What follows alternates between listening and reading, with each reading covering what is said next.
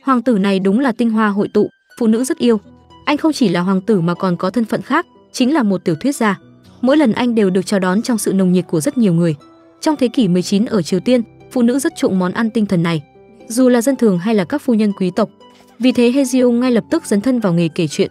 Hôm nay, cô được mời đến nhà một người phụ nữ giàu có kể chuyện, nhưng câu chuyện mà cô kể rất buồn. Vì thế, phu nhân giàu có liền tức giận đuổi cô đi, còn ném sách của cô ra ngoài cửa sổ. He Ji đâu phải là người chịu bị bắt nạt, cô nhặt sách của mình lên và quyết định báo thù. Cô mang sách nóng đến phòng của lão gia. Khi ông ta nhìn thấy những cuốn sách này thì tức run người lập tức mắng cho vợ mình một trận. Thù đã báo, He Ji cùng vui mừng. Cô là một người rất thích đọc sách. Những điều người ta không biết cô đều trả lời một cách lưu loát. Ví dụ trong lớp học làm dâu, cô giáo đặt câu hỏi, phụ nữ mang thai bao lâu? Khi các cô gái khác còn đang ngơ ngác thì He Ji đã trả lời, 9 tháng 1 tuần 3 ngày. Nhưng ngay cả khi cô ấy trả lời đúng, cô ấy cũng sẽ không được người khác đánh giá cao. Theo quan niệm xưa, người phụ nữ có tài thì sẽ không có đức. Vì vậy, họ không thể có thông minh và hiểu rộng biết nhiều như nam giới. Nhưng cô lại vô cùng bất mãn, thậm chí còn không muốn kết hôn. Một ngày nọ, khi đang đi dạo, một đứa trẻ đã lấy trộm ví của cô. Cô chỉ kịp hét to, đứng lại, rồi đuổi theo thằng bé.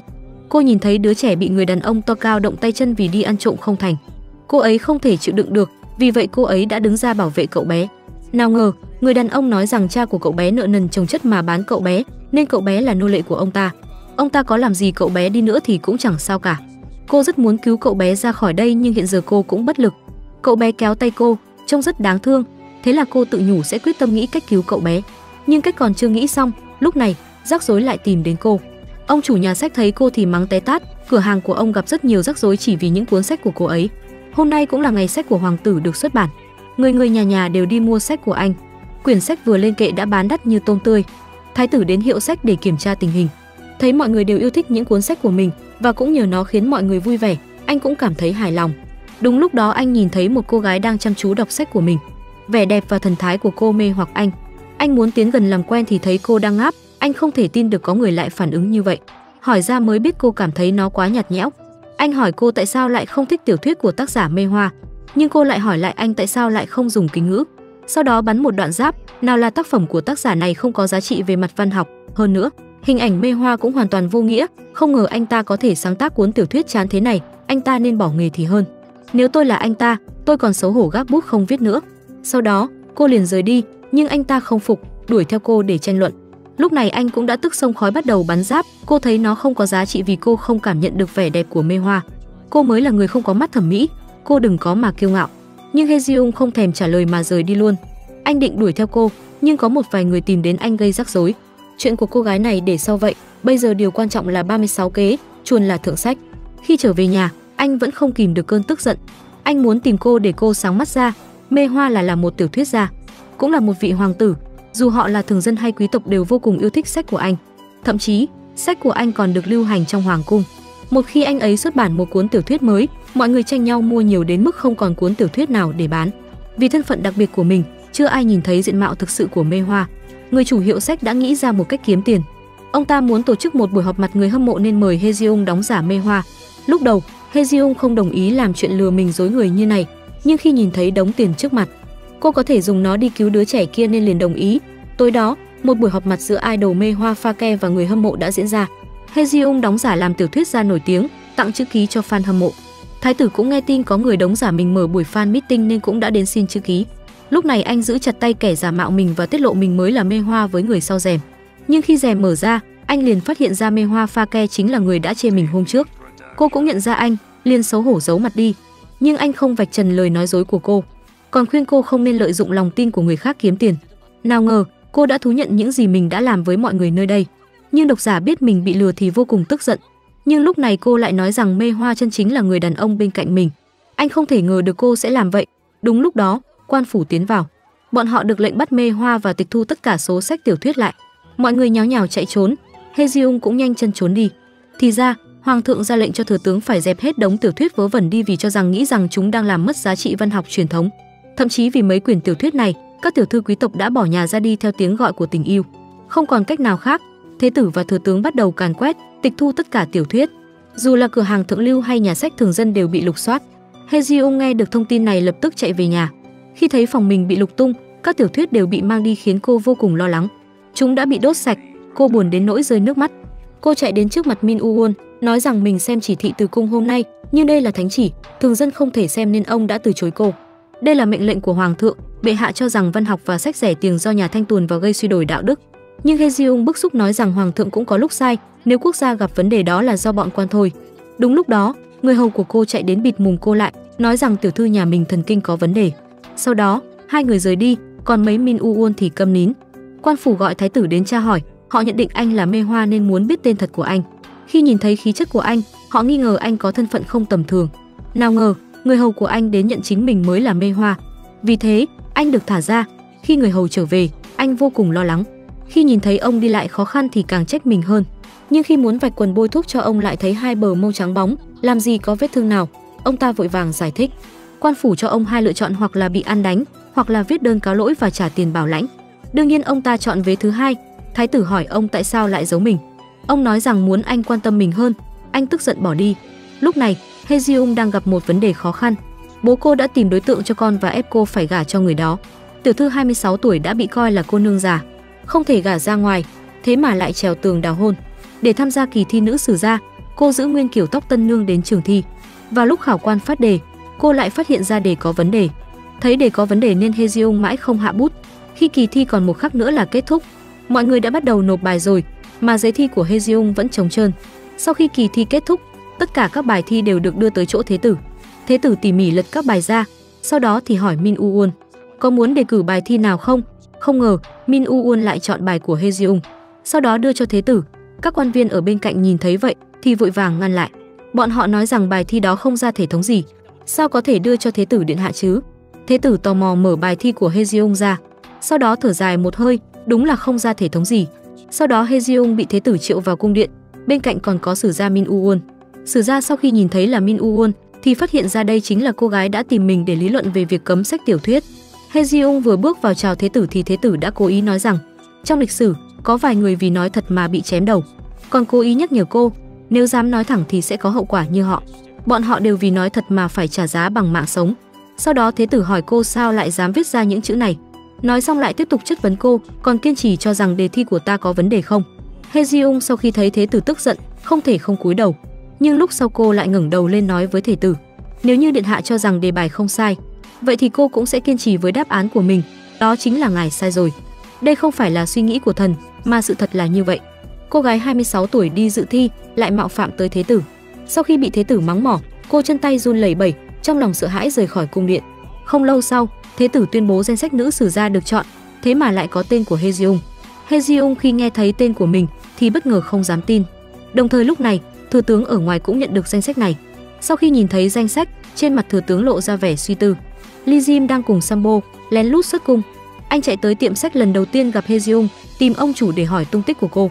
Ông chủ không dám đắc tội với Lee Jim, chỉ đành nói rằng người giả danh mê hoa lần trước chính là Hejiung. Chớp mắt đã đến ngày Hejiung đến nghệ văn quán để báo cáo. Một người xuề xòa như cô, thế mà trời chưa sáng đã dậy để chuẩn bị. Ai ngờ vừa vào cung thì Hejiung và ba nữ sử khác đã bị Giang Sihan và mấy tên quan khác cố ý chỉ sai đường. Bọn họ chạy đi chạy lại một vòng, cho đến khi chạy ra ngoài cung thì mới biết mình bị lừa. Khi bọn họ vội vã tới nghệ văn quán, đang định hỏi thăm tên lừa đảo, thì phát hiện ra lừa họ chính là Giang Sihan và mấy vị tiền bối. Các nữ sử gia vội vàng cúi đầu, giới thiệu bản thân với các tiền bối, nhưng các nam sử gia đều không để ý đến họ. Đặc biệt là mấy nam sử gia mà Giang Sihan cầm đầu. Bọn họ thậm chí còn cố ý làm khó làm dễ mấy người Hejiung, sai họ đi bưng trà rót nước cho mình, còn phải đi dọn dẹp.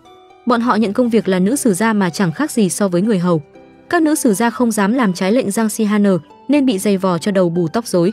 Mấy người sau khi thảo luận riêng phát hiện ra, có lẽ bọn họ chưa mời các vị tiền bối tham gia lễ nghênh tân, nên các tiền bối mới làm khó họ như vậy. Bọn họ sau khi thương lượng thì tới tìm Min U Won, mời ngài ấy và các tiền bối trong nghệ văn quán đến tham gia lễ nghênh tân. Min U Won nghe xong thì hỏi bọn họ, có biết phải làm gì ở lễ nghênh tân không? Một nữ sử gia trong đó trả lời, nếu các ngài đánh thì chúng tôi sẽ nhịn. Nếu muốn chúng tôi nhảy múa, chúng tôi sẽ làm theo. Nếu cởi quần áo thì chúng tôi cũng sẽ cởi. Nhưng Min U Won lại nói, bọn họ sẽ không để nữ nhân làm việc đó, bảo bọn họ ngoan ngoãn quay về, nhưng các nữ sử không được công nhận. Để có thể trở thành sử gia thực thụ, bọn họ kiên trì mời tiền bối đến tham gia lễ nghênh tân. Sau đó còn đặt thư lên bàn Min U Tối hôm đó, trong tử lâu náo nhiệt, các nam sử gia mặc quần áo chỉnh tề ngồi chờ các nữ sử gia. Một đám tiểu thư quý tộc lại phải đi mời các vị tiền bối uống rượu. Giang Si Han cố ý nhấc ly rượu lên, chỉ về hướng bát rượu to đùng, mời bọn họ uống. Đám nam sử gia cho rằng các nữ sử gia sẽ không đồng ý, không ngờ một nữ sử gia đã tự bưng bát rượu lên, một hơi cạn sạch. Nhưng nam sử gia bên cạnh chưa hài lòng, lại đổ thêm một bát nữa. Hejiung ở bên cạnh không nhịn được nữa liền nhấc lấy, sau đó một hơi cạn sạch. Hejiung uống xong nói với Giang Sihan để cảm ơn các vị tiền bối đã chăm sóc cho họ như vậy, cô cũng sẽ báo đáp bọn họ. Nói xong thì nhấc bát rượu lớn của mình lên, đi về phía Giang Sihan rồi ngồi xuống. Sau đó đưa bát rượu cho Giang Sihan nói rằng xin Giang Sihan hãy nhận lấy lễ này của mình. Giang Sihaner bị dáng vẻ tự tin này của Hejiung làm cho cười ngất. Ông ta sai người mang tới một chung rượu, sau đó thì ra hiệu với mọi người, cuộc thi bắt đầu. Khi Hejiung đang thi rượu với các nam sử gia, thì Lee Jim dẫn Sambo tới cầu đợi cô ấy. Sau khi tìm được địa chỉ của Hejiung, anh liền gửi thư cho cô, hẹn cô tối nay gặp mặt, bảo cô phải xin lỗi mình vì chuyện đã giả danh anh. Kết quả Lee Jim đợi một hồi lâu mà cũng không thấy Hejiung xuất hiện. Sambo chỉ đành nói rằng Hejiung chắc là không đến nữa đâu, bảo anh mau chóng về cung. Lee Jim nghe tin Hejiung không đến thì vô cùng thất vọng. Sambo càng cố ý thêm dầu vào lửa, nói rằng sao mặt anh bây giờ giống như bị người yêu cho leo cây vậy. Không ngờ Lee Jim nghe xong thì dựng hết lông gà lông vịt lên, tức giận hét lên, cô ta là kẻ địch lớn nhất của đời ta. Sao ngươi dám nói đó là người yêu ta? Lee Jim hét xong mới nhận ra. Mọi người xung quanh đều nhìn về phía mình, anh chỉ đành ngại ngùng kéo mũ xuống. Bên kia ở lễ nghênh tân, các nam sử gia đều uống say ngất ngửa. Chỉ có mỗi Min Uwon là còn tỉnh táo. Anh ngồi ở bên cạnh, ngại ngùng nhìn Hejiung đang say ngoác cần câu mà còn đang tìm rượu. Còn Giang Sihan lúc này thì cũng say nói không ra lời.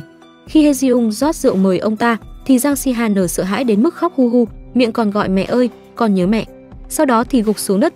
Các nữ sử gia phát hiện Giang Sihan cuối cùng cũng gục, vui mừng hô hào bọn họ thắng rồi. Mà Hejiung lúc này cũng đã say ngoác cần câu, cũng được anh trai cõng về nhà. Sáng ngày hôm sau, Hejiung cứ tưởng sau trận so tài hôm qua, nam sử gia cũng đã công nhận bọn họ, cho bọn họ làm công việc của một sử gia. Nhưng không ngờ lại bị các nam sử gia chơi một phố. Các nam sử gia vào cung sớm, lén nói với quan binh cai cổng. Sau 5 giờ sáng thì không được cho nữ sử gia vào. Chính vào lúc Hezium đang nghĩ cách nào để vào trong, thì một anh lính tốt bụng nói với cô. Đằng sau, có một lỗ chó đi vào trong cung. Khi Hezium chui vào trong, thì nhìn thấy Sambo đang gọi cung nữ. Hezium sợ hãi vội trốn đằng sau hòn đá. Đang nghĩ đến lúc nào mới có thể về nghệ văn quán, thì có người ở đằng sau chỉ vào vai cô, hỏi, cô lạc đường à? Đột nhiên nghe thấy tiếng người, Hezium sợ hãi vội quay lại xem. Cô kinh ngạc phát hiện ra, đó chính là Lee Jim mà mình từng đắc tội. Lee Jim sau khi nhìn thấy cô gái mà mình tìm kiếm bấy lâu, bây giờ lại ở ngay trước mặt. Anh có chút mừng rỡ, kết quả lại quay ra dọa dẫm Hezium, giả vờ gọi người đến bắt cô. Hezium giật mình sợ hãi, vội vàng bịt miệng Lee Jim lại không cho anh lên tiếng. Lee Jim bị bịt miệng bất ngờ không biết phải làm thế nào. May là nội cung Sambo của anh, không lâu sau đã đưa người tới. Sambo sau khi biết Hezium là người giả danh mê hoa, sợ cô tiếp tục dây dưa với Lee Jim, nên vội vàng đưa cô đến nghệ văn quán. Hejiung và ba nữ sử gia khác đang đi bộ trong nghệ văn quán, thì thượng cung choi của Thái phi nương nương tới tìm. Thượng cung choi vô cùng hung dữ, bắt bọn họ mau chóng đến gặp Thái phi nương nương. Mấy người Hejiung thấp thỏm đến cung của Thái phi, lại phát hiện ra Thái phi là một người rất hiền hậu, chỉ cười nói dặn dò họ rằng là sử gia nên cống hiến cho đất nước, sau đó thì bảo họ rời đi. Mấy người Hejiung đi ra khỏi cung Thái phi, đang bàn về Thái phi hiền hòa dịu dàng thì bị thượng cung choi gọi lại, ra lệnh cho cung nữ bắt họ lại. Hejiung chỉ hỏi tại sao lại muốn bắt bọn họ, lại bị thượng cung choi cho một cái bà tai. Thượng cung choi lạnh lùng nói với Hejiung, hôm nay phải dạy các cô thể nào là quy tắc của mệnh phu trong cung. Nói xong thì cầm thanh sắt được nung nóng hổi tiến lại gần Hejiung.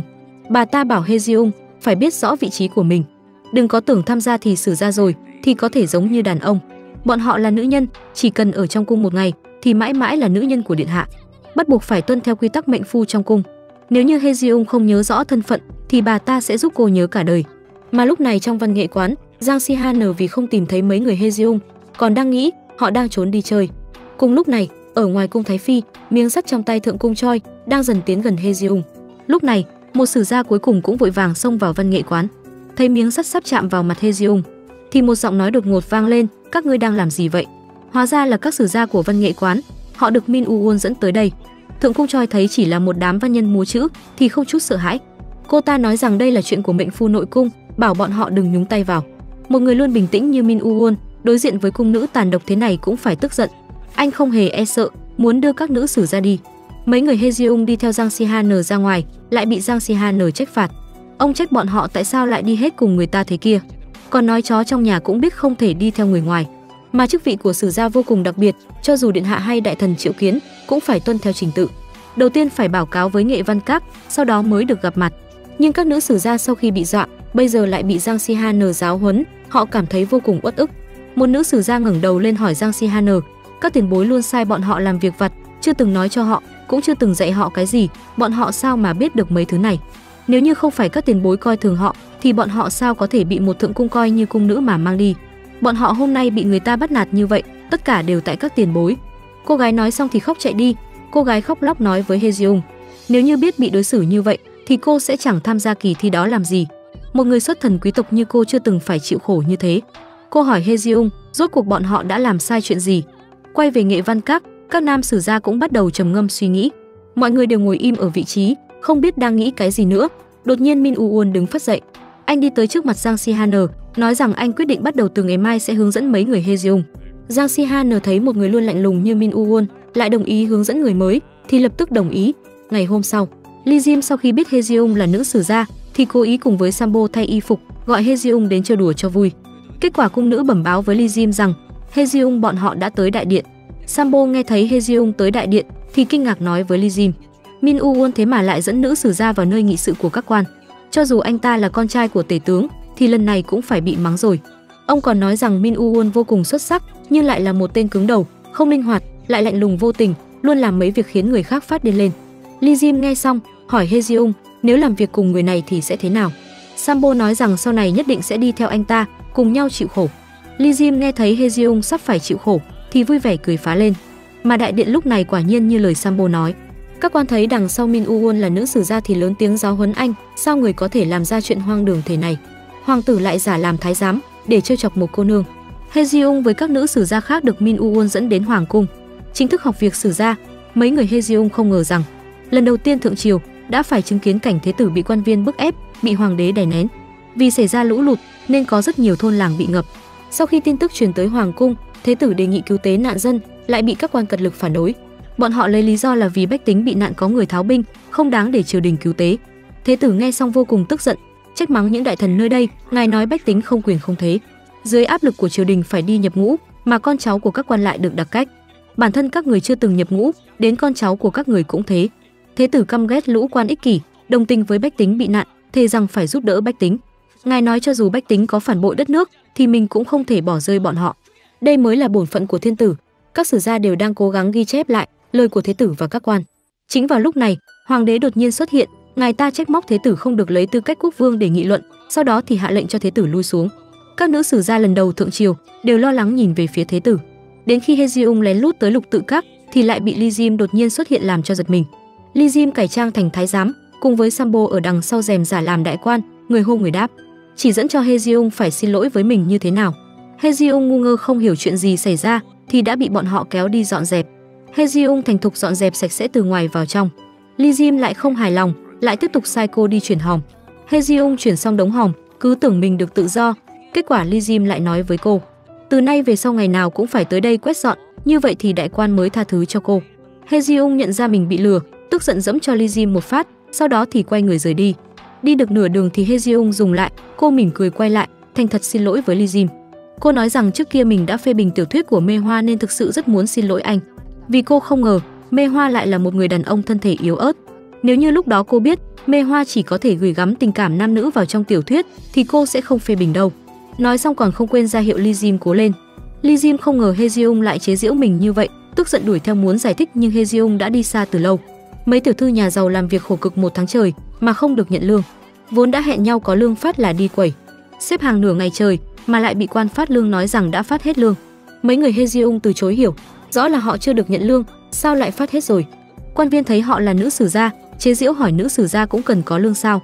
Thấy bọn họ lấy ra bổng lộc thì chỉ vào mấy thùng lương trống không, nói rằng đã hết lương thực rồi. Bọn họ hết cách, còn nói nếu họ cảm thấy uất ức thì tháng sau đến lấy sớm. Quan viên nói xong thì rời đi luôn. Tối hôm đó, vì không nhận được lương, các nữ sử gia tụ tập ven đường. Bọn họ tính uống rượu giải sầu. Chính vào lúc bọn họ đang than thở thì gặp mấy nam sử gia của nghệ văn quán. Cùng ăn mới biết có một người trong số họ được hưởng lương cả năm. Tiền bối này mới nhậm chức được hơn một năm, tháng nào cũng lỡ thời gian phát lương. Sau này mới biết, quan viên nếu không nhận được lương thì đều sẽ thuê thừa lại lấy hộ, còn phải lôi kéo quan hệ với quan phát lương. Quan viên khi phát lương trước hết gọi tên của họ trước, tiền bối nói với mấy người Hezium tháng sau đừng ôm cây đợi thỏ nữa, đến gặp thẳng các thư lại mà lấy là được. Nhưng Hezium tối hôm đó trở về, lại viết một tấu chương báo cáo. Cô viết ra sự thật việc thư lại tham nhũng bổng lộc. Sáng ngày hôm sau, Ly Jim đã sốt sáng đợi Hezium từ lâu, nhưng anh đợi từ sáng đến trưa vẫn không thấy cô đâu. Hóa ra Hezium vì bản tấu chương mà bị đại nhân tức giận. Ông ta mắng Hejiung đừng có tự cho mình thông minh. Tại sao chỗ nào cũng có người bị nợ lương, bọn họ lại không dám lên tiếng, vì lương thực là tin xấu của triều đình. Nếu như bị truyền ra ngoài thì hoàng thượng chắc chắn sẽ trách mắng. Ông ta còn nhắc nhở Hejiung, nếu như để hoàng thượng đọc được bản tấu này thì cả nghệ văn quán đều bị trách phạt. Một ả nữ nhân lại dám làm việc của nam nhân. Nếu như không giúp được gì thì dùng có mang thêm rắc rối. Lúc này Min U đột nhiên lên tiếng, "Đại nhân, xin chú ý lời nói." Min U càng nghe càng tức, không nhịn được mà lên tiếng ngăn lại. He lại vì vạch trần sự thối nát của quan viên, không những bị người ngoài sỉ nhục, mà đến tiền bối trong nghệ văn quán cũng không hiểu cho cô. Cô chỉ có thể nhẫn nhịn không cho nước mắt rơi. Lee Jim vẫn đang đợi He từ trưa cho đến tận chiều, còn đi đi lại lại ở trước cửa. Cuối cùng cũng nhìn thấy He đang chậm chậm bước đến.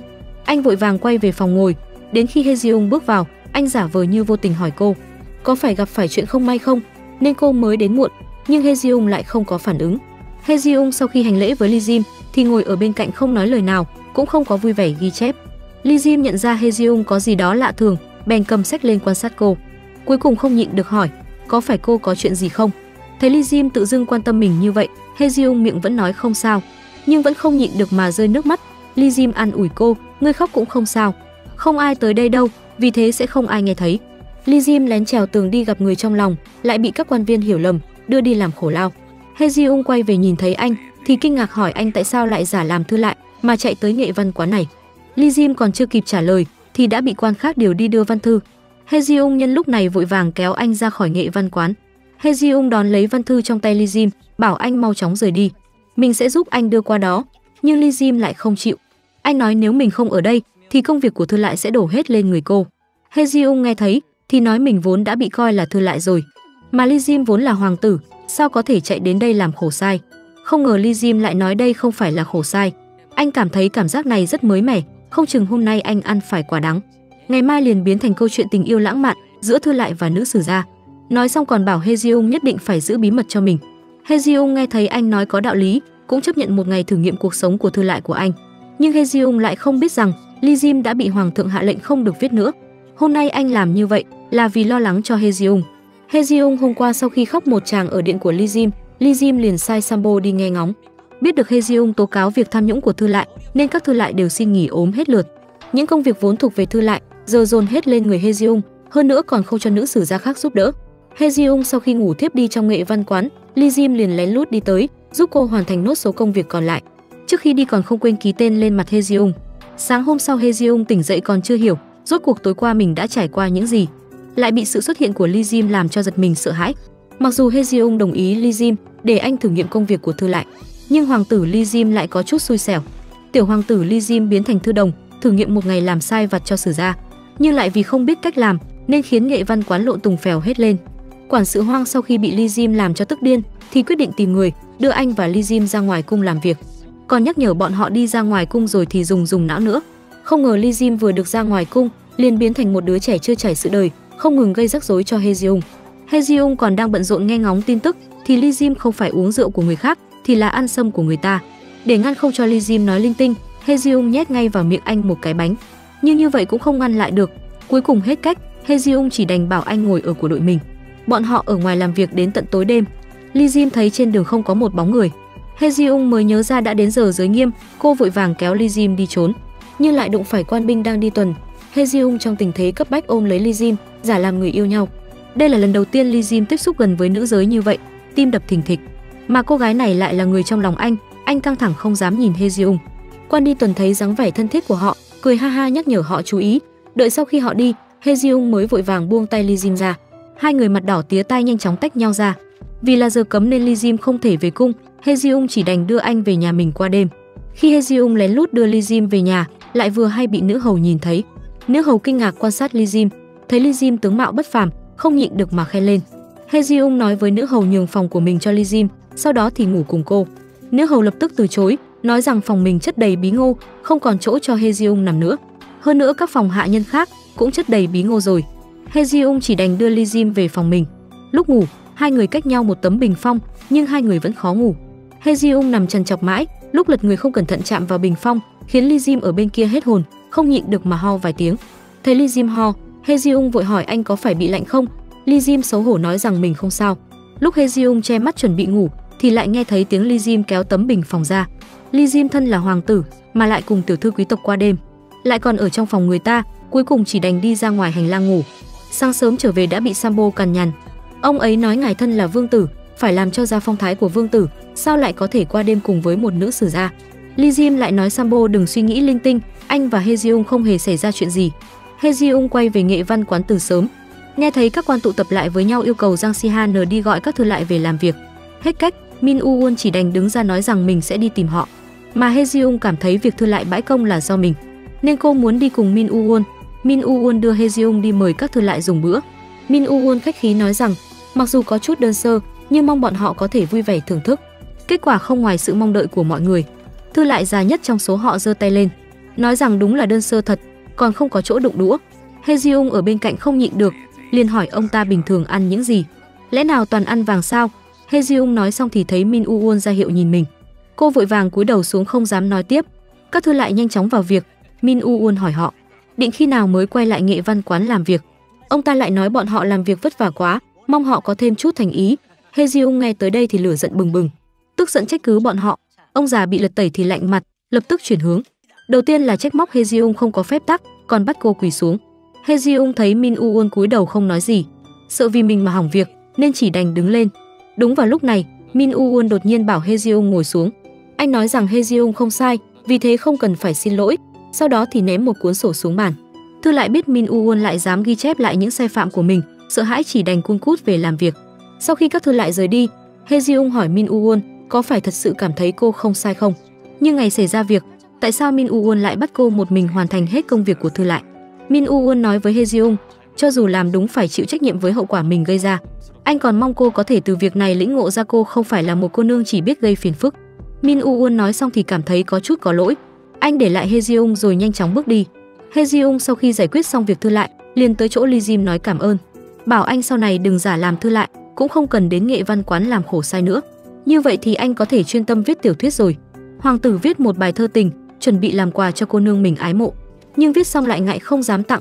Anh vốn định viết lại một bài khác, nhưng hezium lại không chịu. Cô cảm thấy hành vi của anh rất đáng nghi, càng khiến cô thấy tò mò hơn. hezium không nói nhiều tiến tới giật bài thơ. Vào lúc họ đang chơi đùa nhau, thì hoàng thượng bước vào. Bọn họ sợ hãi vội dừng lại, hezium cũng vội vàng lui khỏi phòng. Còn Lee Jim vô cùng bất an, phụ hoàng chưa từng đi tới đây, anh liền hỏi sao ngài lại tới thăm mình. Nhưng hoàng thượng chỉ liếc Lee Jim một cái mà không thèm trả lời. Hoàng thượng sai Lee Jim ngồi xuống, sau đó thì nói rằng Lee Jim đi thay mình đến một nơi, đến đó để an ủi dân chúng, lấy lại thể diện cho hoàng thất. Hóa ra hoàng thượng mới biết tin ôn dịch bùng phát. Bách tính kêu gào, các đại thần lũ lượt bẩm tấu, mong thế tử có thể xuất cung an ủi lòng dân. Thế tử cũng tự đề cử mình, xuất cung để diệt trừ ôn dịch. Nhưng hoàng thượng không đồng ý, thậm chí còn tức giận xông ra ngoài. Sau đó đi tới chỗ của Ly Jim, hoàng thượng biết thừa Ly Jim chưa từng bị đậu mùa, hơn nữa còn yếu đuối chói gà không chặt, nhưng lại sai anh xuất cung trấn an lòng dân. He Jiung quay về nghệ văn quán, nghe thấy mọi người thảo luận để xem ai muốn cùng Lee Jim xuất cung, nhưng lại không có ai nguyện ý. Đúng lúc này He Jiung giơ tay lên, nói rằng mình từng bị bệnh đậu mùa. Thế tử biết tin em trai thay thế mình xuất cung, lo lắng tới tìm dặn dò Lee Jim ra ngoài phải giữ gìn sức khỏe, nhất định phải bình an trở về. Tổ mẫu của Lee Jim, Thái phi nương nương biết Lee Jim bị điều đến vùng ôn dịch hoành hành, tức giận xông vào đại điện lý luận với hoàng thượng, hỏi hoàng thượng tại lại nỡ đẩy máu mủ của mình vào nơi đó. Nhưng hoàng thượng lại nói, Ly Jim thân là hoàng tử, chia sẻ gánh nặng cho phụ thân và hoàng thất là trách nhiệm và bổn phận của nó. Thái phi nghe xong, lại buộc miệng nói ra, chứ không phải vì ngài không phải phụ thân của nó sao? Đến đây chúng ta mới biết hóa ra Ly Jim không phải con ruột của hoàng thượng nên mới bị hắt hủi như vậy. Thái phi sau khi quay về, lập tức ra lệnh sai người âm thầm bảo vệ Ly Jim, nhưng lại bị một nữ sử gia nghe thấy. Tối ngày hôm đó, nữ sử gia đó tới phủ thừa tướng báo cáo chuyện này. Tối hôm đó khi Hezium thu dọn đồ tạc, nữ hầu lo lắng ở bên cạnh lải nhải. May là anh trai xuất hiện kịp thời giải thoát cho Hezium. Anh trai mặc dù lo lắng cho Hezium, nhưng anh biết Hezium đã quyết thì sẽ không thay đổi. Vì thế chỉ đành dặn dò cô phải chăm sóc bản thân thật tốt. Sáng ngày hôm sau, Lee Jim cùng với Sambo và một đám quan viên xuất phát. Ở giữa đường nghỉ ngơi, Lee Jim đột nhiên nhìn thấy Min Uwon cũng ở trong đội ngũ. Hơn nữa còn tự mình đưa nước cho Hezium, hoàng tử xuất cung diệt trừ ôn dịch. Hoàng tử vì cứu bách tính mà suýt nữa thì tạch ở ngoài, nhưng đổi lại được là một cái bạt tai của hoàng thượng. Lee Jim đưa một đoàn người về cung, thấy hoàng thượng đã đợi từ lâu. Vừa tiến lên thỉnh an phụ vương lại bị hoàng thượng tức giận cho Li Jim một cái bạt tai. Ngài ta phẫn nộ chỉ trích Li Jim dám cãi lời vua, hóa ra Li Jim ở ngoài cung biết được. Ôn dịch lần này có thể dùng một loại hạt để chữa trị, nhưng triều đình lại quy nó là lương thực cấm được trồng. Để chữa bệnh cho bách tính, Ly Diêm không chỉ tự mình thử nghiệm mà còn thuyết phục người dân trồng nó. Tin này lập tức truyền tới hoàng cung. Hoàng thượng ra lệnh Ly Diêm lập tức hồi cung, nhưng Ly Diêm vì lo lắng cho bách tính nên mãi chưa chịu về. Anh cùng Hejiung và Min Uwon cùng nhau cứu giúp cho bách tính. Đến khi bách tính hoàn toàn khỏe mạnh, Ly Diêm mới dẫn mọi người hồi cung, nhưng lại bị hoàng thượng trách phạt. Thế tử hay tin em trai bình an trở về, lập tức đi tới nghênh đón Ly Diêm. Chính vào lúc hoàng thượng định phạt Ly Diêm thì thế tử xuất hiện vội vàng tới cắt ngang, sau đó quỳ xuống bên cạnh Ly Diêm, cầu xin phụ hoàng tha thứ. Anh nói Ly Diêm đã cứu được biết bao nhiêu bách tính, nhắc nhở phụ hoàng, các sử gia đang ở đây, họ sẽ ghi lại những lời mà hoàng thượng nói ra. Dưới sự nhắc nhở của thế tử, hoàng thượng dù tức giận cũng phải nhịn lại. Ly Diêm quỳ ở dưới không dám kinh động, Thái phi nương nương ở đằng xa cũng đang nhìn chằm chằm về phía hoàng thượng.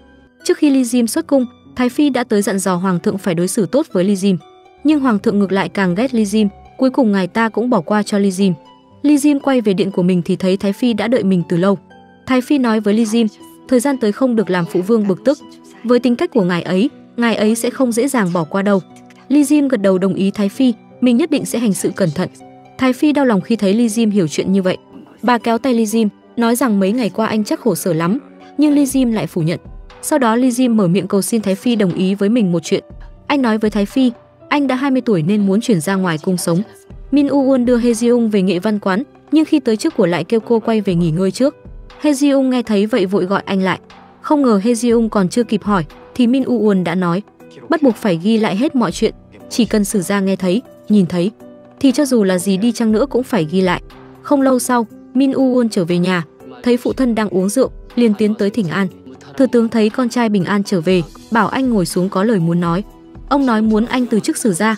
ở Sungwon Wan có vị trí còn bỏ ngỏ. Mà một người đã đỗ trạng nguyên như anh thì sẽ không có ai nói anh nhờ có phụ thân mà có được nó.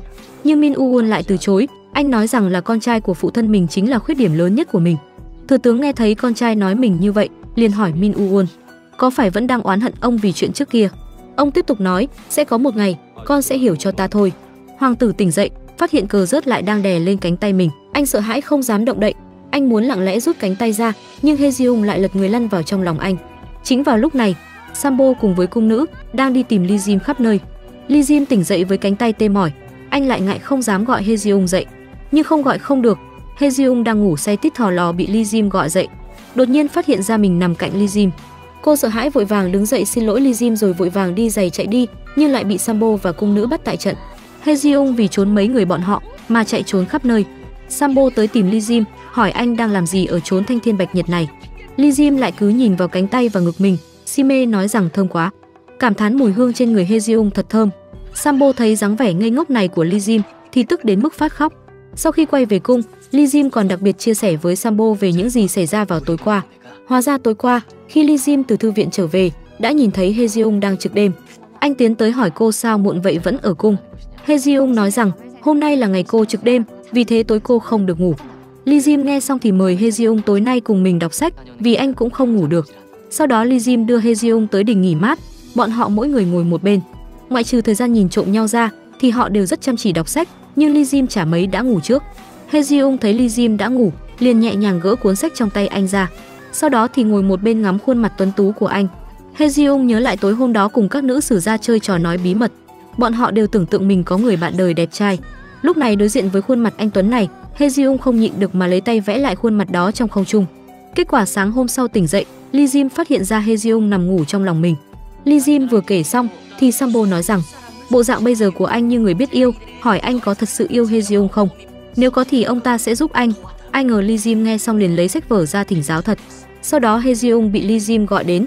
Hejiung hỏi anh gọi mình tới có chuyện gì, nhưng Lee Jim lại không nói gì mà đứng lên, sau đó đi về phía Hejiung, rồi áp sát cô vào tường. Cô gái vào cung được 15 năm trở thành thế tử phi, nhưng thế tử lại không chịu động phòng với cô. Cô gái tức giận liền mang theo hai nữ sử gia đi cùng mình tới tìm thế tử.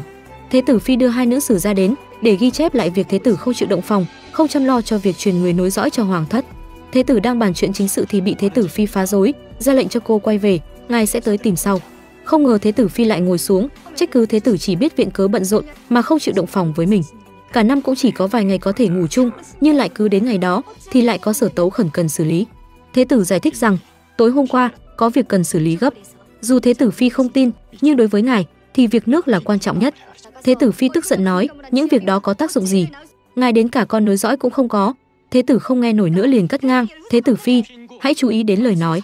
Nhưng càng dấy lên sự uất ức trong lòng cô, "Đúng, cho dù ta không nói, thì bao nhiêu năm qua ta đã chú ý lắm rồi. Chỉ cần ta nói thì sẽ bị trách, là đồ ác miệng, không nối dõi được cho hoàng thất. Vì thế thần thiếp chỉ có thể sống như thể vô hình." Thế tử nghe thấy những lời này thì xin lỗi Thế tử phi. Nhưng Thế tử phi lại cắt ngang, chỉ là lời xin lỗi đầu môi, cô đã không muốn nghe nữa. Vì những năm qua, Thế tử đã xin lỗi vì chuyện này rất nhiều lần rồi, nhiều đến mức cô không đếm được. Nói xong thì Thế tử phi nhắc Thế tử vào ngày ngủ chung tiếp theo nhất định phải giữ gìn sức khỏe để cố gắng giúp cô mang thai. Cô còn nói với thể tử, nếu như ngài dám phớt lờ yêu cầu này thì cô sẽ chạy ra đường tìm một người đàn ông khác. Thế tử phi nói xong, chưa kịp đợi thể tử trả lời, lập tức quay người rời đi. Không lâu sau đã đến ngày ngủ chung, Thế tử cũng coi như làm theo lời của thể tử phi. Thế tử đi vào trong, thấy Thế tử phi đã nằm trên giường. Cô gái vì ép phu quân động phòng với mình mà đã mang theo cả nữ sử gia tới ghi chép lại việc ngài không chịu động phòng. Thế tử cuối cùng cũng chịu thua, chỉ đành đồng ý, vào ngày động phòng tiếp theo sẽ tới. Hai nữ sử gia sau khi ghi chép quay về, kể lại toàn bộ sự việc cho mấy người ở nghệ văn quán. Mọi người nghe thấy thế thì nói rằng việc này không liên quan đến chính sự. Theo lý thì không nên ghi chép vào, nhưng Giang Si Ha N không dám tự ý xóa đi, ngài quyết định hỏi quan trên. Kết quả là, quan trên nghe tới chuyện thế tử và thế tử phi động phòng thì sợ hãi đi tìm quan trên nữa. Không ngờ quan trên vừa nghe thấy chuyện này thì lập tức vứt trả về nghệ văn quán. Giang Si Ha N dầu dĩ quay về nghệ văn quán, sau khi suy đi tính lại, quyết định để Min Uwon xử lý chuyện thế tử phi náo loạn muốn động phòng. Vì Min Uwon không chỉ là con trai của thừa tướng mà còn là người lớn lên cùng thế tử. Tình cảm cũng rất tốt đẹp, hơn nữa còn là em trai của thế tử phi. Cho dù ngài ấy quyết định thể nào thì sẽ không bị chịu phạt quá nặng. Khi Min Uwon định mở miệng thì đột nhiên thế tử điện hạ tới. Sau đó họ đi ra ngoài nói chuyện, thế tử và Min Uwon nhắc lại chuyện hồi nhỏ. Anh ra lệnh Min Uwon xóa bỏ ghi chép về việc động phòng, nhưng Min Uwon lại rất chính trực, không nghe mệnh lệnh May là thế tử hiểu được tính này của Min Uwon, ngài cũng đành bó tay trước Min Uwon cứng ngắc theo quy tắc này, nên vẫn coi Min Uwon là bạn mình, quyết định không muốn ép anh làm chuyện anh không muốn. Mặc dù Min Uwon nói không đồng ý, nhưng lại cầu xin thế tử đừng trách thế tử phi. Trước khi thế tử rời đi, ngài nói với Min Uwon, ngài hiểu hoàn cảnh của thế tử phi, sẽ không trách cô ấy, còn nhắc nhở Min Uwon, cho dù người khác có nói thế tử phi thế nào, thì cũng mong Min Uwon đứng về phía cô ấy. Tới đêm ngủ chung, thế tử cuối cùng cũng xuất hiện ở ngoài điện thế tử phi ngài cho cung nhân lùi lại sau đó một mình bước vào nhìn thấy thế tử phi đã nằm xuống thế tử lại nói xin lỗi cô từ xin lỗi cứ lặp đi lặp lại. Nghe thấy thế tử lại một lần nữa từ chối mình thế tử phi chỉ có thể âm thầm rơi lệ. Sáng ngày hôm sau bốn nữ sử gia của nghệ văn quán đột nhiên bị đông cung gọi tới. Một đám tiểu thư quý tộc ở một bên thưởng thức cảnh đẹp. He Ji cũng đang tăm tia vài anh. Có điều đây chỉ là tưởng tượng của Lee Jim.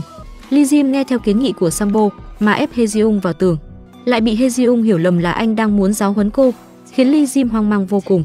He lại nói, nếu như ngài vì chuyện trước kia mà làm vậy, thì thần thật sự xin lỗi. Lee Jim định bày tỏ tình cảm, cuối cùng lại bị He hiểu lầm. Lee Jim tỏ tình thất bại đang vô cùng buồn bực thì thế tử từ chối động phòng với thế tử phi chạy đến tìm anh để đi bắn cung. Lee Jim nghe là đi bắn cung thì lập tức từ chối. Anh nói mình đi rồi, cũng chỉ thành trò cười của nữ sử gia. Thế tử bảo anh đừng lo lắng, vì cả ngày hôm nay nữ sử gia sẽ không đến làm phiền họ đâu. Lee Jim vẫn hoang mang không hiểu. Hóa ra trước khi đến tìm em trai, ngài vừa gọi Hejiung và nữ sử gia khác đến Đông cung. Các nữ sử gia cứ tưởng thế tử tìm họ là để trừng phạt việc bọn họ ghi chép chuyện động phòng. Không ngờ thế tử không những không phạt mà còn tặng cho mỗi người một phần quà. Hơn nữa còn cho họ nghỉ một ngày để họ đi tham quan sơn cốc. Sambo sau khi nghe thấy thế tử lại cho họ đi tham quan sơn cốc trong cung, liền nói đó là chỗ tắm tát của các thị vệ sau khi luyện tập xong, cũng là nơi mà các nữ sử gia có thể ngắm cảnh đẹp tuyệt trần. Thế tử nghe thế thì cười lớn. Ngài không ngờ mình lại vô tình giúp các nữ sử gia được phen bổ mắt. Nhưng Ly Jim không sao cười nổ, cứ nghĩ tới cảnh Hejiung và các thị vệ vui đùa là tức sôi máu, anh phát tiết sự tức giận bắn ngay vào Hồng Tâm. Lúc này Hejiung và các nữ sử gia đang chơi đùa ở sơn cốc, tám chuyện với nhau. Lúc bọn họ chuẩn bị ăn cơm thì phát hiện ra mang thiếu củi. Một nữ sử gia nói mình sẽ quay về lấy. Hejiung lại nói không cần, mình có thể lên trên núi kiếm chút cành cây. Hejiung đang một mình kiếm củi ở trên núi thì trời đột nhiên đổ mưa. Các nữ sử gia ở dưới núi thì vội vàng thu dọn đồ đạc. Hejiung thì trốn ở dưới một gốc cây to, cô nghĩ rằng mưa một lúc sẽ tạnh nên định đi tìm các nữ sử gia. Hejiung vừa đi ra khỏi thì đột nhiên có một chiếc áo che lên đầu cô. Hóa ra Lee Jim bên kia càng nghĩ càng lo nên quyết định đến tìm Hejiung. Hoàng tử và cờ rớt trong mơ, chú mưa ở động trong rừng cây, nhờ đó mà có được cơ hội nắm tay. Sau khi mưa tạnh, Lee Jim nắm tay Hejiung quay về. Hejiung đột nhiên nghe thấy tiếng các nữ sử gia khác gọi mình liền sợ hãi vội đẩy Lee Jim đi. Thấy các nữ sử gia đi tới, Hejiung mới giả vờ là mình bị rơi đổ lại sợ họ phát hiện ra Lee Jim đang trốn ở sau tảng đá liền nói mọi người đi trước. Cô đi tìm một lúc rồi quay về, cô đuổi khéo các nữ sử ra đi, sau đó vội kéo Lee Jim lên. Kết quả vừa kéo được một nửa thì các nữ sử ra lại quay lại gọi cô. He sợ hãi vội buông tay ra, Lee Jim lại rơi xuống lần hai. Sau khi chắc chắn họ đã rời đi, He mới quay lại kéo Lee Jim lên, sau đó còn ân cần chỉnh lại quần áo cho anh. Lúc này tự nhiên Lee Jim thốt lên, đẹp thật đấy. Cái còn gì đẹp thì các bạn tự hiểu nha. Ngày hôm sau, He Jiung quay lại nghệ văn quán làm việc. Min U Won đưa cho cô một cuốn sử mới bảo cô viết lại. He Jiung lại nói mình đã nghiêm túc sửa lại rất nhiều lần rồi. Tại sao anh vẫn chưa hài lòng? Min U Won nói với cô. Ở trong cuốn sử này, đều có thể nhìn thấy tình ý của cô với Lee Jin qua từng dòng chữ một, vì thế cô buộc phải viết lại từ đầu. Khi He viết lại cuốn sử của mình, thì Min U Won ở trong đại điện bị một vài quan viên tố tên. Vì anh làm việc theo nguyên tắc không linh hoạt nên bị một vài quan lại ghét bỏ. Hơn nữa những tên quan này lại lấy người vợ đã tự kết thúc sinh mạng để vu khống anh. Thế tử nghe xong thì lo lắng cho Min U Won nên sai Min U Won quay về trước. Min U Won quay về nghệ văn quán, mọi người ở nghệ văn quán hay tin đều lo lắng cho anh. Giang Si Ha N cầm lấy cuốn sổ trong tay Min U Won, sau đó đưa anh ra ngoài. Hóa ra Giang Si Ha N đưa Min U Won đến một quán rượu nhỏ, định ăn ủi anh. Không ngờ hai người vừa ngồi xuống thì bên cạnh đã có người chỉ trỏ Min U Won. Min U Won không muốn liên lụy đến Giang Si Ha N nên cáo biệt rời đi. Nhưng tên quan kia như không muốn bỏ qua cho anh. Hắn bắt đầu nói lớn, xem ra tính tình của người rất bạo lực. Nếu không thê tử của người sao lại không chịu nổi mà tự kết thúc sinh mạng chứ? Thấy có người nhắc đến thê tử đã mất, Min U Won tức giận nắm chặt tay, nhưng vẫn không nói gì mà rời đi. Giang Si Ha nờ thấy anh bị người khác bắt nạt như vậy, không nhịn được mà tiến lên rửa mặt cho lên kia. Còn cảnh cáo chúng, hai người các ngươi, lúc đi đường nhớ phải cẩn thận. Sau khi Min U Won về cung, anh đưa He tới Đông cung. Thế tử thấy Min U Won tới tìm mình, đầu tiên là an ủi anh. Ngài nói với Min U Won, mình không hề quan tâm đến bài tấu vừa rồi. Nhưng Min U Won nghe xong lại nộp thư từ chức. Thế tử hỏi lại Min U Won, người nhất quyết từ chức vụ này sao? Cô gái này trốn ở ngoài, trộm nghe hoàng thượng và đại thần nói chuyện. Vì đối tượng mà họ đang nói đến chính là hoàng tử Lee Jim, người mà cô ấy thích. Chính vào lúc He Jeong muốn lại gần để nghe rõ hơn, đột nhiên lính canh tuần phát hiện ra cô. Hoàng thượng nghe thấy tiếng động lập tức cùng với thừa tướng ra ngoài kiểm tra. Ngài hỏi He Jeong rốt cuộc đã ghi những gì, nhưng He Jeong lại không chịu nói. Hoàng thượng tức giận liền tống Hezium vào đại lao. Đồng thời lúc này, nghệ văn quán và hoàng tử Ly Jim cũng biết tin Hezium làm trái lệnh hoàng thượng, bị hoàng thượng nhốt vào đại lao. Ly Jim nghe xong lập tức tới tìm hoàng thượng cầu tình. Sambo chỉ có thể ôm chân Ly Jim không chịu buông. Anh trai Hezium sau khi biết tin, lập tức đến nhà thừa tướng tìm giúp đỡ, nhưng thừa tướng lại từ chối. Thừa tướng biết hoàng thượng vốn đã không thích sử gia, nhưng hoàng đế các triều đại chưa từng dám động vào sử gia, vì sử gia phụ trách việc ghi chép các sự việc trong hoàng cung, bao gồm cả việc của vua, cho dù là việc xấu hay việc tốt, tất cả đều được ghi chép vào sách sử. Hoàng thượng quyết định lấy Hezium ra gian đe, cảnh cáo với các sử gia. Sau đó thì phái người đến bao vây nghệ văn quán, yêu cầu các sử gia nộp hết sách sử đã ghi chép được. Giang Si chỉ đạo các sử gia phải cố gắng chống cự. Đến cả mấy nữ sử gia cũng bị cuốn chiến. Tới tối, Ly Jim lén lút đến thăm Hezium. Anh mang tới rất nhiều đồ đến thăm cô. Thấy quần áo, gối, còn cả ngân lượng mà Ly Jim mang đến, Hezium không nhịn được mà cười bỏ. Lee Jim bảo cô đừng lo lắng, anh tin mình sẽ cứu được cô ra ngoài. Còn nói nếu như có thật sự bị cách chức thì anh sẽ cùng cô xuất cung. Nếu như bị phạt nặng hơn thì anh sẽ cùng Hejeong chạy trốn. Hejeong nghe thấy Lee Jim tỏ tình như vậy, liền rơi nước mắt cảm động nhưng lại cố ý trách anh chân tay yếu mềm. Cô nói Lee Jim chỉ biết viết chữ, đến củi còn không vác được, đến lúc đó Lee Jim lại trở thành gánh nặng của cô, còn không bằng tự sống một mình. Lee Jim thấy He Jeong miêu tả mình như một gánh nặng, lập tức đứng lên phản đối. Anh nói, ngươi nhìn cho rõ đi, ta không phải cái gánh nặng, mà là bảo vật. Vừa nói vừa tiến lại gần Hezium, hai người bốn mắt nhìn nhau, càng ngày càng sát gần nhau hơn. Hoàng tử tỏ tình với cờ rớt ở trong ngục. Hai người đang chuẩn bị hôn nhau, thì một tiếng đại nhân cắt ngang chuyện tốt đẹp. Sambo đột nhiên xông vào nhà lao, Hezium sợ hãi vội quay đầu đi. Lizim chưa kịp phòng bị đầu đập thẳng vào cột, đau đến mức phải nhíu mày. Sambo thấy Lizim bò dạp trên người Hezium, bất ngờ hỏi anh bị làm sao. Nói xong thì vội vàng nhắc Lizim mau đi ra ngoài, còn nói phí bịt miệng cho thị vệ đắt quá. Lee Jim ôm chán chào tạm biệt Hezium. Hezium nhìn dáng vẻ này của anh mà phá lên cười. Lee Jim đang định đi ra khỏi nhà lao thì Hejiung đột nhiên gọi anh lại. Sau đó, Hejiung đột nhiên tiến lại gần hôn vào má Lee Jim một cái. Lee Jim không ngờ Hezium lại chủ động hôn mình, kinh ngạc đến mức đứng sững sờ ở một chỗ. Sau khi đi ra khỏi nhà lao, Lee Jim không nhịn được mà vuốt lên mặt mình. Nhớ lại cảnh mình được Hezium thơm lên má, trong lòng giống như một hũ mật ong. Bên này nghệ văn quán sau khi bị vây công, các chiến sĩ vô cùng thảm, nhưng họ không chịu khuất phục. Sáng ngày hôm sau khi lên chiều, các tấu sớ lũ lượt dâng lên, tất cả đều là tấu thư. Thư sinh các nơi cầu xin hoàng thượng thả nữ sử ra và bãi bỏ lệnh bắt nghệ văn quán nộp xét xử. Hoàng thượng đau hết cả đầu, lại có nội quan đến báo. Min U uôn một thân bạch y, cầm một thanh diều quỳ ở ngoài điện. Hoàng thượng cùng bá quan đi tới. Thấy dáng vẻ cứng rắn không chịu thỏa hiệp của Min U uôn hoàng thượng tức giận định cầm diều xử lý luôn. Các bá quan lập tức ngăn ông lại, điện hạ, xin đừng kích động, nhưng không khiến hoàng đế bớt kích động, buông chấm ra. Chấm phải cho người biết ta có quyền lực như thế nào. Các bá quan vẫn tiếp tục ngăn cản, điện hạ cầu xin ngài đừng kích động. Đúng vào lúc này, bên ngoài cửa cung xuất hiện một loạt các thư sinh thân bạch y, bọn họ vừa đi vừa phát ra tiếng khóc, sau đó thì dừng lại ở sau lưng Min U Tiếp đó cầu xin hoàng thượng thu hồi mệnh lệnh. Các sử gia của nghệ văn quán thấy cảnh tượng này cũng lập tức gia nhập vào. Hoàng thượng thấy các thư sinh phản đối mình, càng tức đến điên người. Không lâu sau, hoàng thượng bất lực chỉ đành nhượng bộ. Hejiung cũng được thả, quay về đến nhà. Nữ hầu và anh trai đã đợi cô từ lâu. Nữ hầu kích động ôm chầm lấy Hejiung, mà anh trai của Hejiung thì mặt không biến sắc, chỉ dặn dò cô về phòng nghỉ ngơi. Hejiung nằm trên giường, nhớ lại cảnh Lee Jim muốn hôn mình. Cô xấu hổ lại ngồi dậy, bên này Lee Jim đã nằm ngủ ngay ngắn trong phòng. Sambo đột nhiên đẩy cửa chạy vào, hoảng loạn gọi Lee Jim dậy. Đồng thời lúc này, cổng nhà Hejiung cũng bị người ta gõ của điên cuồng. Đã đêm khuya khoát thế này, chẳng biết ai đến tìm bọn họ chứ. Hóa ra là thánh chỉ của hoàng thượng điện hạ. Trời còn chưa sáng đã gọi Hejiung vào cung, không chỉ như vậy, hoàng thượng trong lòng bùng bùng lửa giận, cũng không định tha cho hoàng hậu và thế tử phi, bắt bọn họ đến thỉnh an thái phi từ sớm. Thái phi vốn đã không hợp với hoàng thượng, trời còn chưa sáng đã bị gọi dậy, bà cố ý chậm chạp trải đầu, cho đến khi trời sáng mới cho hoàng thượng vào. Hoàng thượng tiến vào bắt đầu cáo tội với thái phi, nói rằng trước kia bận rộn chính vụ nên không chăm sóc cho thái phi chu đáo. Bắt đầu từ bây giờ trở đi mỗi ngày sẽ đến thỉnh an thái phi. Nói xong thì còn diễn kịch, đợi thái phi trả lời không cần.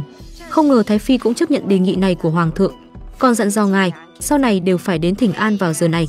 Hoàng thượng tự lấy đá đập vào chân chỉ đành cười gượng gạo. Sau khi mọi người đi ra khỏi điện thái phi, nội cung nhắc nhở hoàng thượng ăn sáng. Hoàng thượng tách hoàng hậu và hoàng tử, một mình ở lại với hezium. Dày vò cả buổi sáng cuối cùng mới được ăn. Mà hezium đáng thương chỉ có thể ở một bên, ghi chép lại quá trình ngài ta dùng bữa. Hoàng thượng nhỏ nhen vì muốn giày vò hezium, cố tình nhét các loại thức ăn vào miệng. Hoàng thượng ăn xong lại đi ra ngoài đi dạo, nhưng phát hiện bị đau bụng. Thế là cả đám người vội vàng tìm nơi để giải quyết. Không ngờ khi hoàng thượng đi vệ sinh, Hejiung cũng phải bịt mũi đi vào ghi chép. Hoàng thượng đi vệ sinh xong, lại bắt nội quan đưa bộ cho Hejiung xem, bảo cô đưa cho thái y để kiểm tra sức khỏe. Hejiung bị giày vò cả ngày tức giận vô cùng. Quay về nghệ văn quán tính toán với Giang Sihan. Chất vấn ông tại sao chỉ phái một mình mình đi theo hoàng thượng, cô còn phải đi bưng bồ. Một sử gia ở bên cạnh thấy Hejiung tức giận với Giang Sihan, thì nói với cô, tất cả đều vì cô trộm nghe cuộc nói chuyện giữa hoàng thượng và thừa tướng. Vì thế tất cả mọi người đều bảo cô phải kiên trì lên, không được thua hoàng thượng. Thời gian sau đó, hoàng thượng trời chưa sáng đã phải dậy. Sau đó thì bắt đầu hành trình giày vò hezium làm trò tiêu khiển.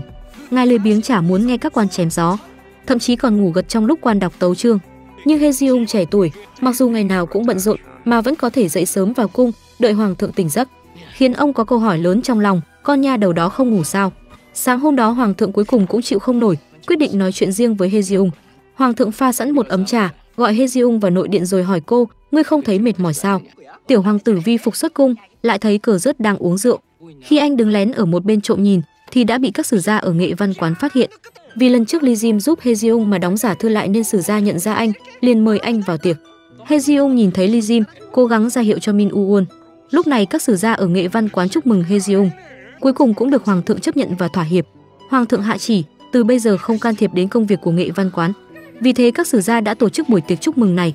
Giang Sihan thấy Li Jim lập tức rót cho anh một ly rượu. Hejiung lo lắng Li Jim bị các quan chuốc say nên chỉ đành tìm cơ hội uống thay anh. Thế là đột nhiên cô hét lên, lĩnh tướng đại giám, rồi đứng lên cúi chào. Thấy vậy, các vị sử gia khác cũng quay ra chào. Cô nhân lúc này uống sạch chén rượu trong tay Li Jim rồi thả nó về lại tay anh. Lúc này, các vị sử gia ngẩng đầu lên, chẳng thấy ma nào cả, liền tức giận mắng Hejiung, cô bị mù sao? Sau đó lại là lĩnh tướng đại giám, Hejiung vẫn còn giả vờ, thế sao? Tôi thấy rất giống. Sau khi cơn no rượu say, Lee Jim đưa Hejiung say ngất ngưởng về nơi ở của mình, còn ân cần nấu canh giải rượu cho cô. Mà Hejiung uống say, lại vô tình phát hiện ra bài thơ trước kia Lee Jim viết cho mình. Sau khi đọc xong, Hejiung mới biết, hóa ra Lee Jim đã muốn bày tỏ tình cảm với mình từ lâu. Lee Jim bưng canh nóng đến đưa cho Hejiung, phát hiện cô lại ngồi ở bàn đá ở bên ngoài. Khi anh bưng canh nóng tới cho Hejiung uống, Hejiung lại nhìn chằm chằm anh không nói gì. Lee Jim lo lắng hỏi cô có chỗ nào không thoải mái không, nhưng Hejiung vẫn không trả lời, mà biểu cảm phức tạp nhìn Lee Jim. Sau đó cô lấy ra bài thơ mà Lee Jim viết cho mình. Sau đó, Hejiung chủ động ôm cổ Lee Jim hôn anh. Ngày hôm sau, Hejiung trang điểm xinh đẹp, sau đó vào cung, rồi lập tức đến chỗ của Lee Jim. lại vô tình nghe thấy cuộc nói chuyện giữa Sambo và Lee Jim. Hóa ra hoàng cung đang chuẩn bị tổ chức lễ thành hôn, mà trong số các hoàng tử trẻ tuổi, chỉ còn Ly Jim là chưa thành hôn. Hoàng tử đêm hôm trước còn hẹn ước đầu bạc giai lão với cô gái, không ngờ ngày hôm sau đã nhận được tin hoàng thượng tuyển phi cho mình. Kết quả là lại bị Hejiung vô tình nghe thấy được. Hejiung hay tin Hejiung sắp tuyển phi, trong lòng rất khó chịu.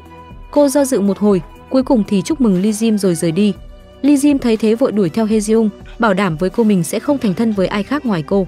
Sau đó tiếp tục dò hỏi Hejiung, ý của cô có giống mình hay không. Nhưng Hejiung lại nói, mình không muốn làm một phu nhân cả đời. Nói xong cô lập tức rời đi, quay trở về nghệ văn quán. Không lâu sau Lee Jim cũng tới nghệ văn quán, ra lệnh Hejiung đi cùng mình tới một nơi. Lee Jim quyết định làm trái ý hoàng thượng, đưa cô đến điện của Thái Phi. Lee Jim ngồi trước mặt Thái Phi, bắt đầu nói về chuyện tuyển phi của mình.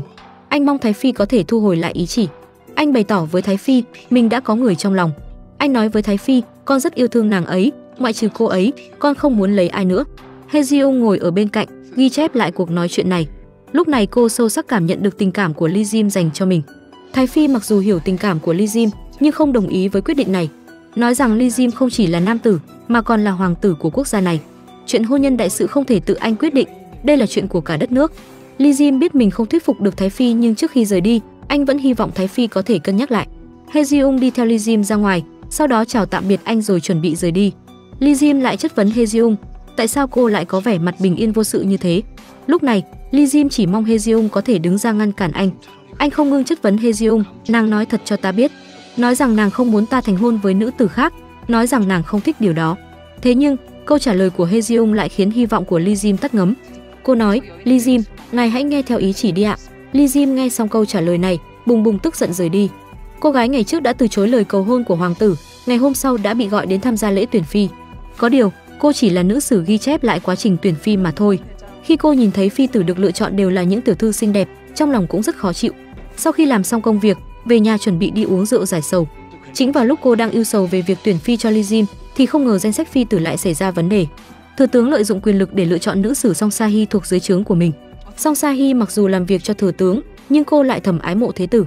Vì thế khi nhận được tin mình sắp phải gả cho Ly Jim, cô quyết định đi gặp thể tử một lần. Đây có lẽ là lần cuối thần bước vào đây. Cô nói, thần muốn đến bái kiến ngài cũng như cáo biệt ngài, chúc ngài khỏe mạnh, điện hạ. Không ngờ tin cô ái mộ thế tử đã truyền đến tai của thế tử phi. Thế tử phi biết tin lập tức gọi cô đến cung, đồng thời lúc này, Thái phi biết được nữ tử được chọn cho Ly Jim lại ái mộ thế tử, trong lòng vô cùng vui mừng. Có người giúp bà phá hỏng kế hoạch này của thừa tướng rồi, đúng là đứa trẻ ngoan. Vì tin đồn giữa thế tử và nữ sử gia Song Sahi, nên chuyện hôn sự của Ly Jim bị lùi lại. Thái phi gọi Ly Jim đến an ủi anh đừng lo lắng, bà sẽ lựa chọn lại cho anh một nữ tử phù hợp. Nhưng Ly Jim lập tức từ chối, không cần đâu Thái phi nương nương. Ly Jim lại một lần nữa nói mình không muốn thành hôn. Thái phi hỏi lại, con có ý gì vậy? Ly Jim lúc này nói, con nhận ra để trở thành lang quân của một nữ tử thì phải chấp nhận mọi cuộc sống của cô ấy. Nhưng Tôn Nhi vẫn chưa làm được điều đó, Thái Phi nghe thấy Ly Jim nói ra những lời như vậy thì an ủi. Thế giới này chẳng có ai có thể xuất sắc như Ly Jim. Nói xong thì quay ra nói với Hejiung, điện hạ của chúng ta là lang quân ưu tú. Hejiung bị bất ngờ chỉ ngơ ngác nói, sao ạ? Cô trở về nơi hai người lần đầu tiên gặp nhau. Nhớ lại hôm đó, Hejiung không nhịn được mà bồi hồi. Đồng thời lúc này, người trong lòng của Hejiung cũng nhận được y phục cho ngày thành hôn. Nhưng anh không chút hứng thú. Sambo an ủi anh, đề nghị anh nên xuất cung chọn phủ vì nguyện vọng lớn nhất trước kia của Lee Jim là có thể chuyển ra ngoài cung. Bây giờ Lee Jim sắp thành hôn, theo quy định trong cung thì anh có thể chuyển ra ngoài rồi. Nhưng Lee Jim vẫn rất thờ ơ trước đề nghị này. Sambo suýt nữa thì khản cả cổ mới có thể đưa Lee Jim ra ngoài cung. Sambo vui vẻ đưa Lee Jim tới một biệt phủ, nói rằng phu nhân sống ở đây đều có thể sinh được 6 đến 7 đứa con. Lee Jim nghe xong thì lắc đầu rời đi, sau đó lại tới một căn khác. Nghe nói đây là khu may mắn, nhưng Sambo còn chưa giới thiệu xong thì Lee Jim đã chạy ra ngoài sân. Không lâu sau, bọn họ đi qua một căn nhà có tên Liên Lý Trai. Lee Jim nhìn thấy nó, trong đầu lại xuất hiện hình ảnh anh và Hejiung sống ở đây. Lee Jim ngồi trong nhà, nhớ lại những ký ức trước kia cùng Hejiung, đột nhiên ảnh chạy ra ngoài, chạy thẳng đến nhà Hejiung gõ của thùng thục gọi tên Gu Hejiung. Nữ hầu mở cửa ra, Li Jim không thèm quan tâm đến cô mà chạy thẳng vào trong. Hejiung lúc này cũng đi ra ngoài. Hai người bốn mắt nhìn nhau mà không nói gì, nữ hầu thấy vậy cũng biết ý rời đi. Nhưng Hejiung lại nói Li Jim hãy về cung, Nói xong thì quay người về phòng. Li Jim thấy vậy vội vàng ôm chặt lấy Hezium từ sau. Anh thâm tình nói với Hezium mình nguyện từ bỏ tất cả, chỉ cần được ở bên cô. Bọn họ đi tới một nơi lạ lẫm, sống một cuộc sống hạnh phúc. Ba năm sau, He Jiung từ cung trở về nhà, nhìn thấy Ly Jim miệng ngậm cành hồng, đang nằm trên giường, thật là Bọn họ cả ngày ở cùng nhau, tại sao không thành thân cơ chứ? Đúng là không thể hiểu nổi. Gu Hejeung, đến giờ rồi, nàng phải đi làm thôi, đến giờ rồi. Tập của ngày hôm nay đến đây thôi. Các bạn hãy nhớ ấn like và đăng ký kênh của chúng mình để không bỏ lỡ những điều thú vị sắp tới nhé. Còn bây giờ thì phải nói lời tạm biệt mất rồi. Chào thân ái và hẹn gặp lại!